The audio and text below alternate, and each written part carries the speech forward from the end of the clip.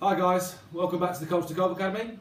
I'm in my nice warm studio today while the gusts of wind are up to about 60 miles an hour at the golf course. So I'm here today to help you hit much lower flighted golf shots and control your ball and lower your scores when playing high winds. So first and foremost, I'm to hit my normal swing for a nice calm still day. So I've got a 7 iron here and we're going to look at the stats. We're going to then compare them to when we change the technique and show you how much more effective it will be when you play in that wind. Okay, I've got the 7 iron. Okay my normal swing.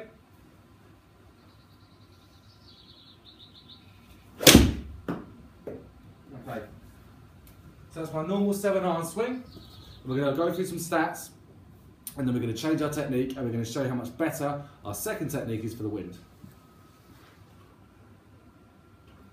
Okay, so that shot there um, is my normal seven iron I play on a still day. That one has gone um, a peak height of 31 yards in the air. Obviously, when we hit it 30 yards in the air, that ball's going to be moved around by that strong wind. So what we're going to do is we're going to give you nice simple tips to be able to lower that ball flight and obviously be able to control your ball better in the strong winds.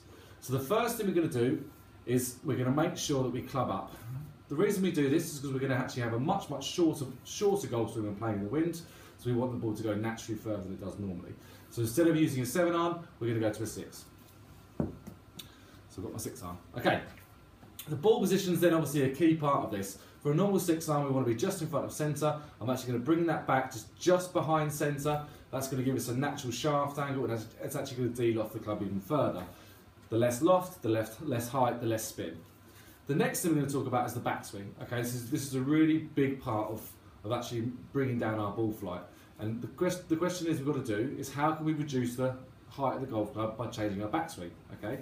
The first thing we're going to do is we're going to take out the hinge and that backswing. With no hinge, we're going to be shorter in the backswing for a start, and also we're going to have a lot less spin on the golf ball because of this. Okay, so I'm going to show you in real time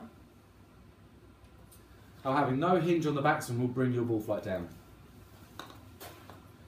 So we've got the six, we've got the ball position towards the back, and instead of having our normal hinge to get the club nice and high, we're going to actually going to have no hinge on that backswing. What you'll see is the club face is obviously quite shut, but the reason why it's shut is we want to keep that ball flight down.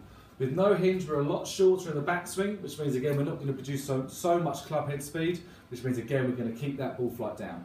Okay, so this is how we do it in your full swing. So ball position back, no hinge on the backswing, okay, and follow through. Okay, so as you can see there, that flight is much, much, much lower. That ball hasn't deviated too much in the air, and the distance is pretty similar to the full 7 iron I hit before. So let's have a look at the stats. Okay, so we've actually brought that down to 24 yards through the air. So again, it's 7 yards lower. The ball's obviously going to be able to, to not deviate so much in that wind. The ball's going a lot flatter and a lot straighter. One big thing as well when playing in the wind is we must keep our tempo. The harder you hit it, the more spin you'll get. The more spin you'll get, the more dispersion you can get in your golf ball. Okay, so there's your tips. We choose an extra club, we have the ball position further back, we have no hinge on the backswing, and we have a much, much slower tempo than we did normally to hit our desired distance and our desired shot. We'll see you again.